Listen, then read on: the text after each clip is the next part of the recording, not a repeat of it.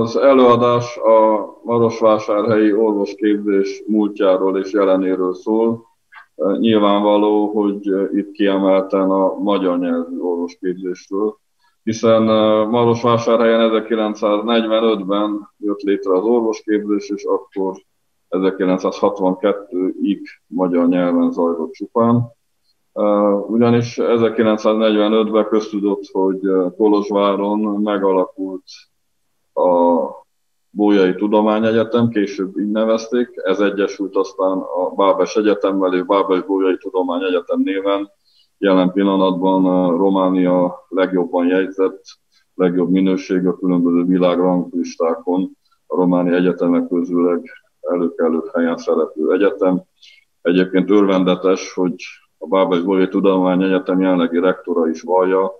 hogy ezt az egyetemet 1581-ben Bátor István alapította, és ez a gyökere ennek az egyetemnek. Nos, 1945-ben a, az akkoriban a politikai helyzet szerint újra Kolozsváron létrejött Magyar Egyetem tagozataként alakult meg Marosvásárhelyen az orvosi fakultás, amely 1948-ig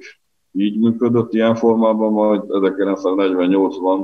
önállóvá vált, ekkor úgy nevezték ezt az egyetemet, hogy Marosvásárhelyi Orvos és Gyógyszerészeti Intézet, de hát nyilván az elnevezés az nem számít, és úgy gondolom, hogy az évtizedek során a Marosvásárhelyi orvosképzés, nyilván beleértve a fogorvosok és a gyógyszerészek képzését is, csak rövidítve sokszor csupán orvosképzésről beszélünk, de hát ide gondoljuk a többi szakembernek a képzését is. Nos, ez az orvosképzés, ez úgy gondolom, hogy megállt a helyét, és azok, akik idehaza vagy külföldön vásárhelyi végzettekként tevékenykedtek, azt hiszem, hogy elvégezték a feladatukat. Hogyha a történetet, a múltat egy kicsit még tovább pergetjük, akkor 1972 az a fordulópont, amikor vegyessé válik az oktatás, majd nyilvánvaló számbeli és minőségi csökkenés után, ami minket illet és ránk tekint. 1989 után egy olyan fordulat állt be, amely bizonyos, hát mondanám azt, hogy pozitív jövőképpel próbált kecsegtetni. Sajnos három évtized eltelt azóta, és azt kell mondanunk, és mindannyian tudjuk, hiszen előtérben van a Marosvásárhelyi magyar nyelvű orvosképzés kérdése, sokszor a sajtóban is szerepel, úgyhogy tudjuk, hogy három évtized alatt sajnos nem sikerült olyan szintre jutni, olyan önállósági szintre, akár mennyiségi, minőségi szempontból, ami, amit szerettünk volna. Itt még a múltba visszatekintve egy-két fontosabb lépésként a közelmúltra visszatekintve megemlíthető, hogy pozitív volt a 2000-es évek elején, hogy egy magyar nyelvű beiskolázási szám alakult ki, viszont sajnos azóta inkább demográfiai szempontból csökken a jelentkező magyar diákok aránya. Jelenleg úgy fest, hogy olyan 40 százalék alatti az orvosi karra jelentkező magyar diákok aránya, és nyilván a, a felvételi az egy versenyképességet is jelent természetszerűleg.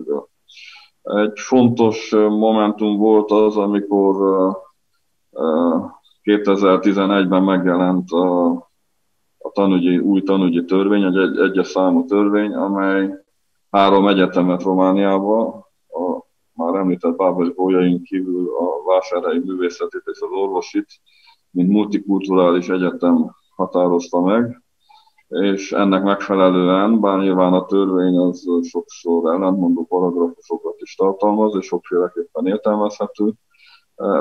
kimondta az egyik paragrafusban, cikkeiben, hogy a multikulturalitás kimondása azzal jár, hogy önálló tagozat szerveződhet,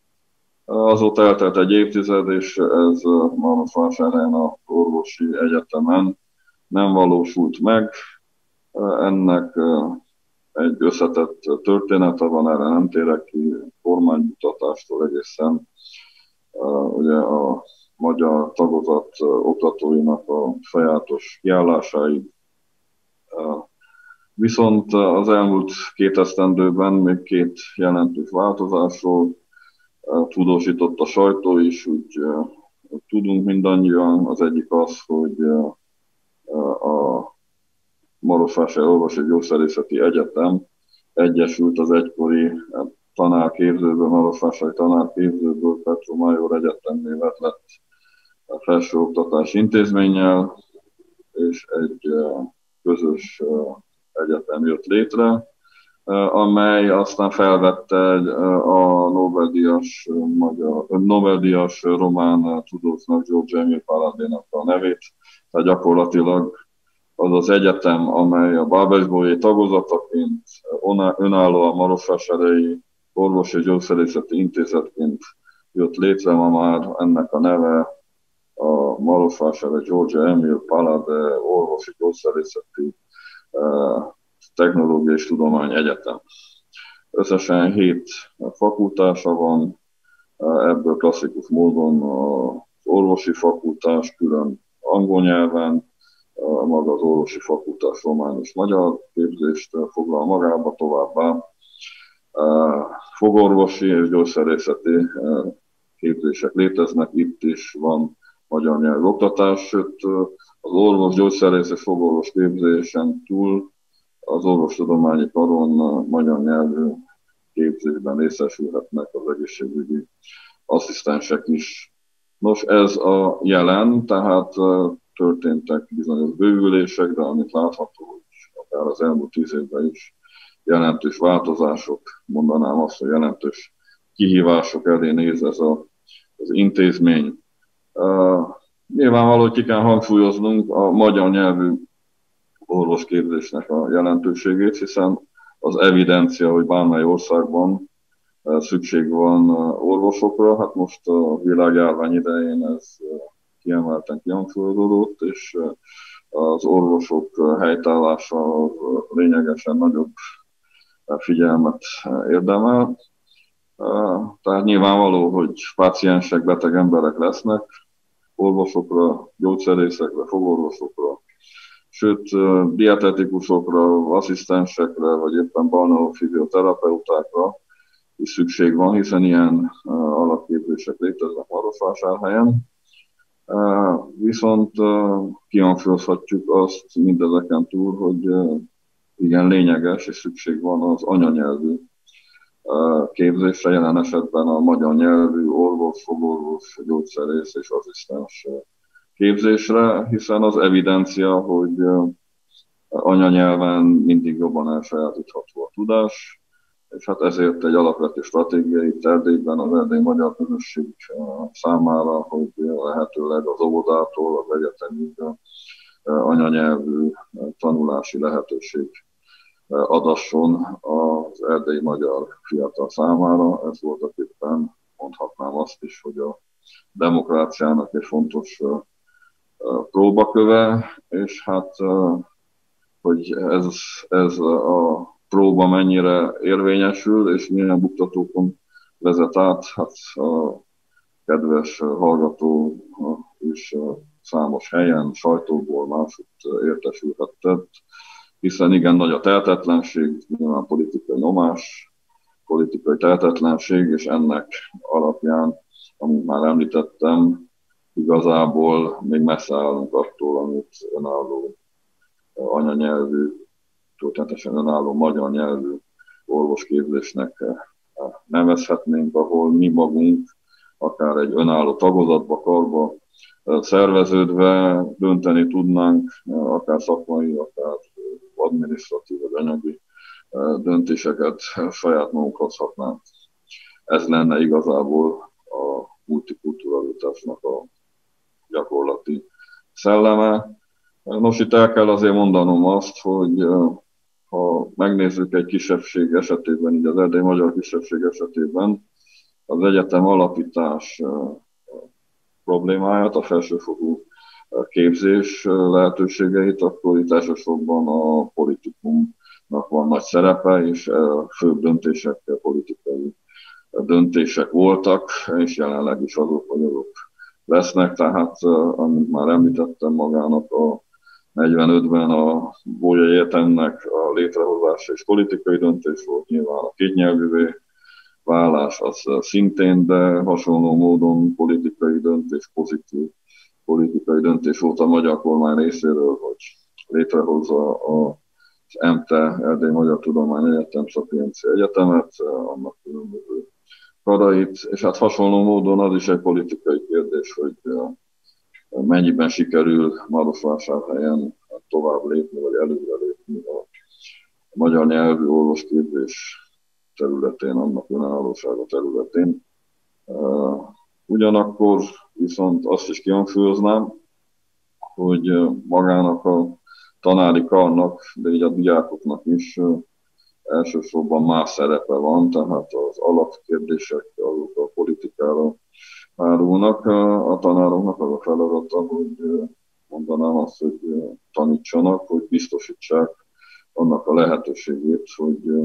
valóban legyen magyar nyelvű képzés, és hát nyilván ehhez több minden hozzájárul, tehát az is, hogy tanítványokat vegyenek maguk mellé, ezeket képezik, akár a doktori címet biztosítsanak ennek a lehetőségét, mert csak is úgy képzelhető el anyanyelvű képzés, hogyha egyrészt vannak jelentkezők, mert ez a legfontosabb, nyilván, hiszen minden tevékenység a célpopulációt szolgálja, ki jelen esetben pedig azokat, akik jelentkeznek és magyarul szeretnének tanulni. Másrészt viszont fontos az, hogy a megfelelő tanárikkal legyen, akik megfelelő képzéssel vannak, és biztosítják, biztosítani tudják a magyar nyelvű képzést a már említett különböző karokon. Nos, nagyjából ez a rövid történet, vagy egy kicsit a jelen is, de hát nyilván amikor ezt a kérdést elemezném, akkor múltról, jelenlőről és jövőről is beszélünk. Kicsit még visszatérnék a múltba két tanulmány erejéig, amelyet mi magunk végeztünk, és cikkek, publikációk is megjelentek ebből. Most az egyik az, az 1959-60-ban Marosvásárhelyen végzett orvosok kihelyezéséről szólt, hiszen amint már említettem, akkor csak magyar nyelvű képzés zajlott 1962-ig, és ez a tanulmány bebizonyította, hogy azok, akik Marosvásárhelyen végeztek, azért többnyire Románia területén vállaltak szakmai tevékenységet, tehát akkoriban kisebb részük vándorolt külföldre, nyilván kiemeltem Magyarországra, Magyarországba. Sőt, az is kiderült, hogy a többségük nem is magyar többségű területre került, hanem vagy vegyes, vagy akár szolvány területre, és bizony itt szakmailag helytáltak a betegei pácienseik javára, és azt hiszem, hogy az is egy evidencia lenne, és hát bizony vannak olyan példák, és így Észak-Tirol példáját akár említhetem, hogy az Olaszország északi része, ahol német ajtó többség van, és itt bizony elvárják egy orvostól, hogy ne csak az államnyelvét, az olaszt, hanem a ott élő többség nyelvét, a németet is kiválóan beszélje. Tehát nyilván nem az a demokrácia, hogy most meghatározom, hogy esetleg milyen nemzetiségű, vagy milyen nevű, stb. személy kerülhet egy adott állásba, hanem az a demokrácia, hogy a helyi lakosság igényeinek megfelelően akár eleget tegyen olyan feltételnek, hogy beszélje a lakosság nyelvét. Most talán nem kell kihangsúlyoznom, hogy egy beteg esetében, páciens esetében mennyire fontos az, hogy egyáltalán az anyanyelvét használhassa, és el tudja mondani a panaszait, hiszen már az se könnyű, hogy egyáltalán meg tudjuk fogalmazni, hogy mi a problémánk, már ez igénybe vesz, hát még egy más nyelven, amelyet akár ez lehet az államnyelven, nyilván a román nyelv, de akkor sem biztos, hogy olyan szinten érzünk magunkénak, mint a, ki a saját anyanyelvét. Tehát ez volt az egyik tanulmány, amire utalhatnék, amely tehát bebizonyította azt, hogy igenis, hogyha valaki akár nem az állam nyelvén, hanem anyanyelven tanul, nyilván itt zárójelben elmondanám, hogy kötelessége a szakifejezéseket és a, a gyógyításra kapcsolatos tudást az, anya, az állam nyelvén, román nyelven is elsajátítani, csak akkor maradhat itt, és hát nyilván mind a, a bárhol különböző nyelven beszélő betegét így tudja gyógyítani, úgymond kiszolgálni. Tehát az anyanyelven való tanulás, és ugyanezek a példák említhetjük akár alsóbb szinten, középiskolában vagy óvodában, ez nem jelent hátrányt, ez mindenképpen előnyt jelent a saját szakmai fejlődés szempontjából, nyilván, amit már említettem, összhangban egyéb tényezőkkel. Egy másik tanulmányra is szeretnék itt még utalni. A másik tanulmány az az elvándorlást, az orvosok és fogorvosok elvándorlását illeti, hiszen ez is egy olyan tényező, amit szorosan összefüggésbe kell hozni az orvosképzéssel, azért, mert az orvosok elvándorlása az kiemelten magas, és gyakorlatilag mi be is bizonyítottuk, hogy 1989 előtt, illetve hát a, a Románia Európai Unióba való belépéséig, amikor más lehetőségek adottak, tehát pontosabban 2007-ben Románia belépett az Unióba, utána nyilván nagyobb lett a munkaerő mozgás lehetőség, és így az orvosok is már elég jelentős számban a mai napig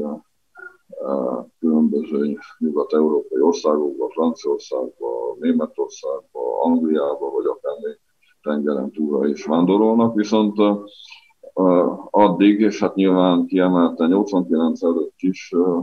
a vásárhelyen végzett magyar orvos kiemelten az Anyországba, vagy Magyarországra vándorolt, és itt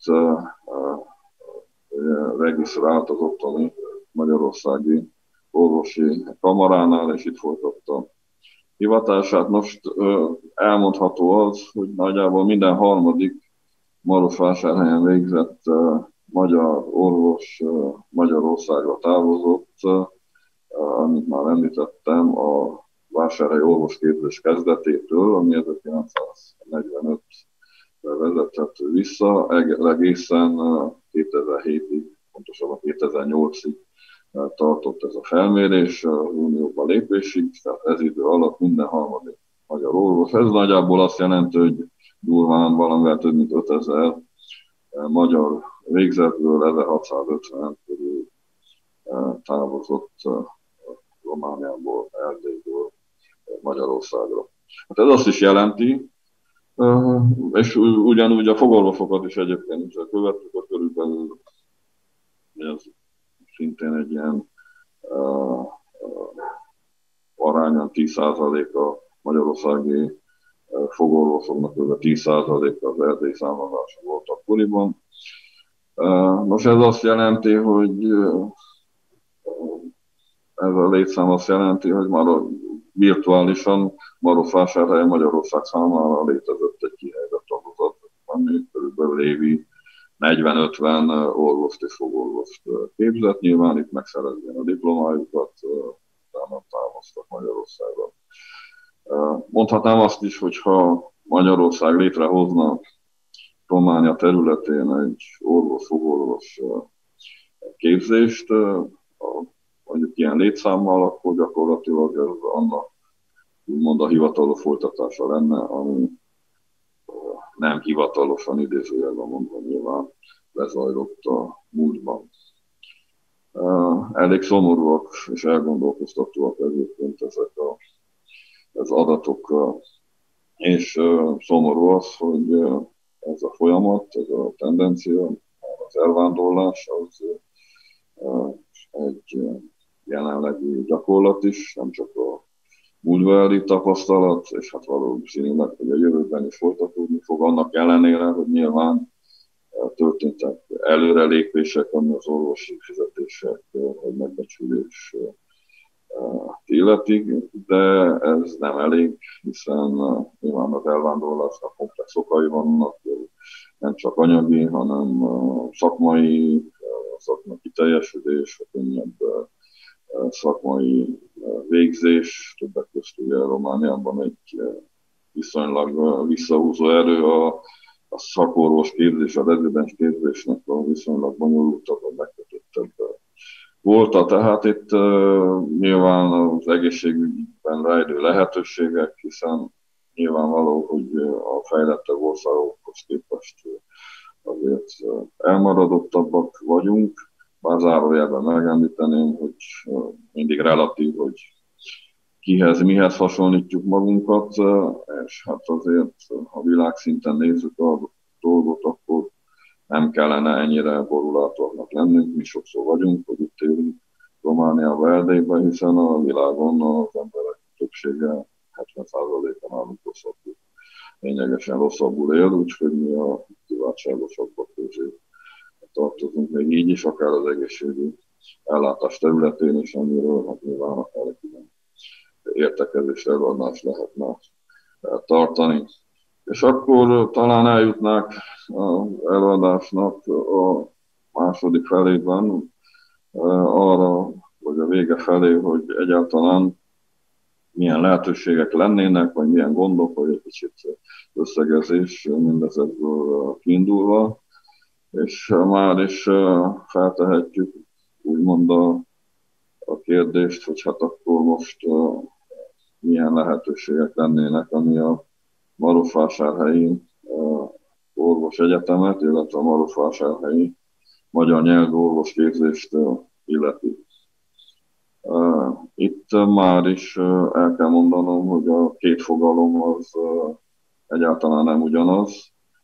hiszen egy dolog maga az egyetem, ami a Marosvásár Egyetem, ami egy földrajzi kötöttséget is jelent, akár egy múltbeli gyökeret, hátteret.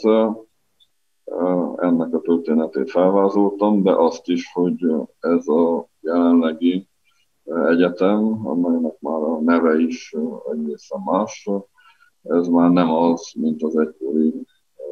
Mogyi, vagy akár Mogye, ahogyan szoktuk emlegetni.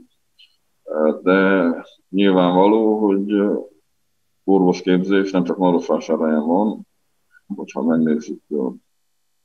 romániai helyzetet, csak magyar nyelvű orvosképzés van Marosvásárhelyen, ami egyébként a négy Magyarországi Orvosi Egyetem, pontosabban négy helyszín mellett, ahol orvosi képzés van, ez az ötödik, és ez sokszor nem tudatosodik eléggé bennünk hogy világszinten, hát pontosabban a, nyilván az anyaország mellett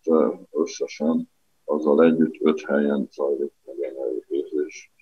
négy helyszín Magyarországon és egy Marosvásárhelyen a határon túl. Most ezt csak azért mondom, mert elméletileg vagy bizonyos elképzelések vannak arról is, hogy legyen orvosképzés valahol máshol, tehát magyar nyelvű orvosképzés elméletileg, nem tudom, hogy ez mennyire valósulhat meg a gyakorlatban, akár más helyszínen, nem csak Marosvásárhelyen elképzelhető, és hát vannak ilyen bizonyos javaslatok, bár erről még kidolgozó stratégiát nem tudok, és konkrét lépések sem történtek, de esetleg elképzelhető lenne, hogy a Sapienza keretén belül Marosvásárhelyi más helyszínnel, mondjuk Csíkszeredai helyszínnel legyen orvosképzés, bár erre azt mondanám, hogy hát ha Kolozsvárról kiszorultunk Marosvásárhelyre, akkor most Marosvásárhelyről egy lényegesen kisebb lélekszámú és annak megfelelő nyilván erejű székely, földi, akár településre kiszorulni, nem tudom, hogy ez mennyire jelenthet előrelépést. A lényeg az az, hogy ami megvan, itt Marosvásárhelyen azokat a kereteket, orvosképzésnek, illetve a magyar nyelv orvosképzésnek a kereteit, azokat azt hiszem mindenképpen feladatunk megerősíteni, És hát nyilván, hogyha stratégiailag elképzeljük a jövőt, akkor az már egy teljesen idealista álláspont, hogy a múlt az visszatérjen olyan formában, mint a kezdetekkor.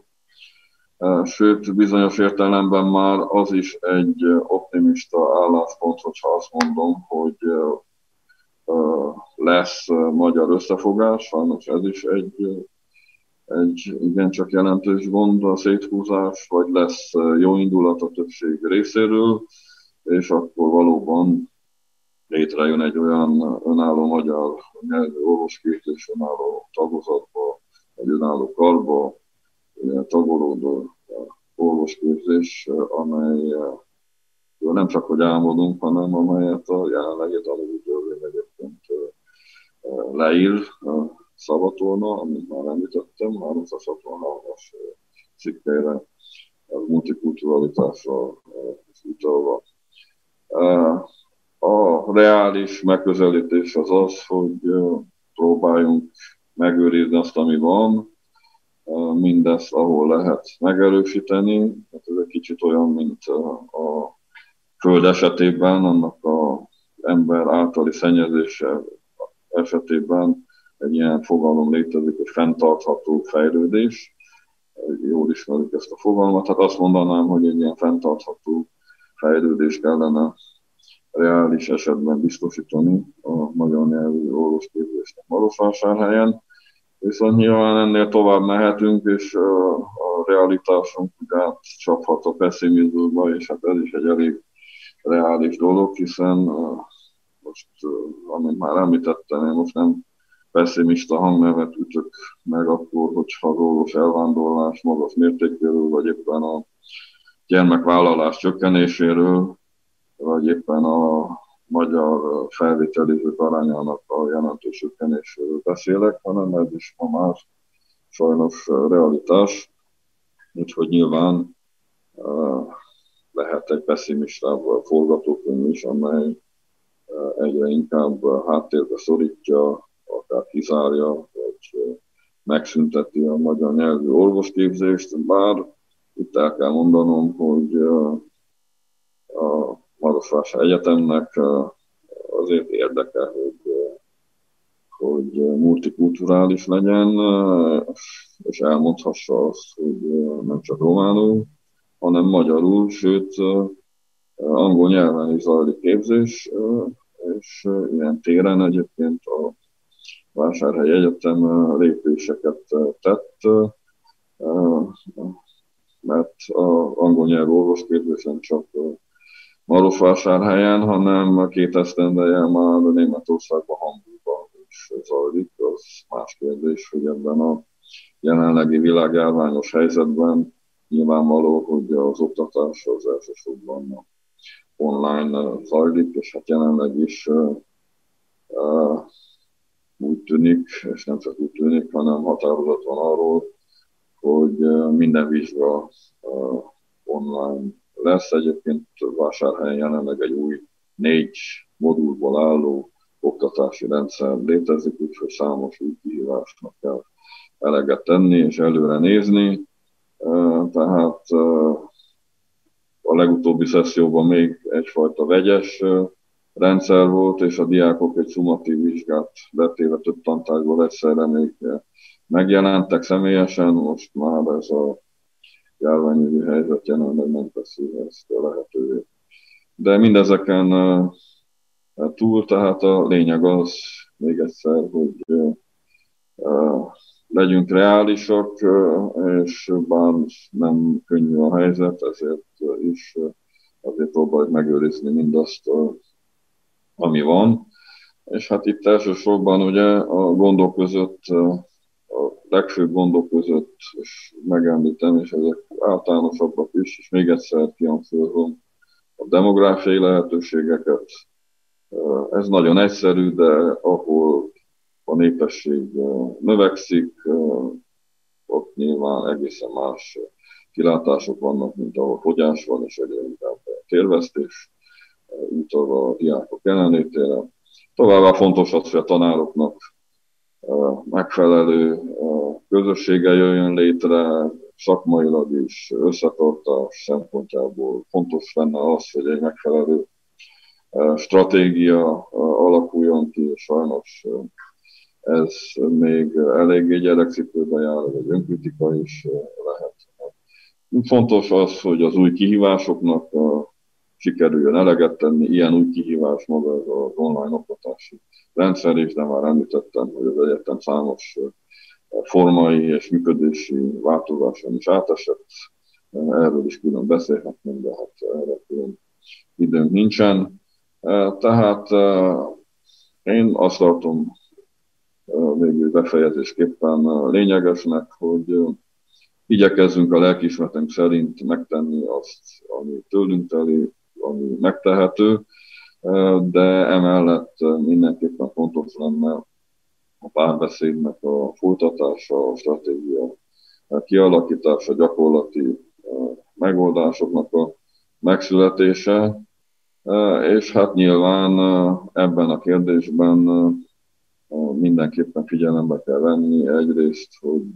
a helyi, belső romániai politikát, amit már említettem, viszonyokat, de azt is figyelembe kell venni, hogy van egy anyaország, és ilyen téren nyilván Magyarország az elmúlt időszakban a felsőoktatás támogatását is illeti, és egyébként a Marosvásárhelyi felsőoktatás támogatását is itt kiemeltem. Megemlítem, hogy egy nagyon erős háttérintézménye van a Marosvásárhelyi magyar nyelvű orvosképzésnek, ez a Studium Alapítvány, és ez nagy mértékben a magyar kormány támogatásával szertágazó tevékenységet fejt ki a könyvtár, szakkönyvtár fenntartásától egészen a tanári lakások építéséig és különböző egyéb programokig. Nos, tehát a mi feladatunk azt hiszem az, hogy tegyük meg a tőlünk telhetőt, és a, a nekünk tanároknak kiemelten az, hogy hozzá tudjunk járulni szakmaiságunk hozzáállásunk által ahhoz, hogy magyar nyelven lehetőség legyen oktatásra, egészen az alapképzéstől a mesterképzésig, sőt a doktori képzésig is. Tehát ez a kívánatos, hogy ha mindez megadatik, és hát akkor azzal szeretnék befejezni ezt az áttekintést, amely a Marosvásárhelyi magyar nyelvű orvosképzés múltjáról, jelenéről és kicsit jövőjéről is szólt, hogy fontos az nyilván, hogy megismerjük a múltunkat, de fontos az, hogy alkalmazkodni tudjunk a jelen kihívásaihoz, és bizonyos stratégiák mentén próbáljuk jobbá tenni a jövőnket, és úgy gondolom, hogy ezt a bástyát, az erdély magyarságnak ezt az intézményét amelyet ma is nagy becsben tart, és nem hiába való az, hogy, és nem, nem véletlen az, hogy hát tíz, évtized, tíz éve már a, a erdély magyar politizálásnak egyik kiemelt témája a Rólos Egyetem helyzete, és amit már mondtam, a romány demokrácia sarköve, megpróbáltatása az, hogy mi lesz a Marosvásárhelyi magyar nyelv orvos Szóval tehát igyekezzünk akár közös erőkkel is legalábbis megtartani azt, ami van, és lehetőleg lehetőség szerint nyilván a realitásokat figyelembe véve, mert mindenkire megtartani és építkezni ott, ahol lehet. Ahogyan reményik Sándor is mondta a templom és az iskola kapcsán, hogy ahogy lehet, de az iskola az mindig nagyon fontos, egyetem is mindig nagyon fontos egy közösség, és kiemelten egy kisebbség szempontjából is.